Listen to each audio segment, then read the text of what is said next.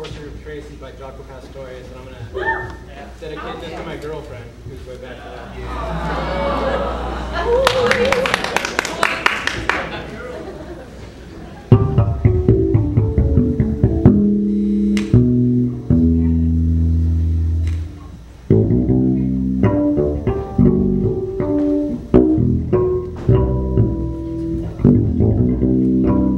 Thank you,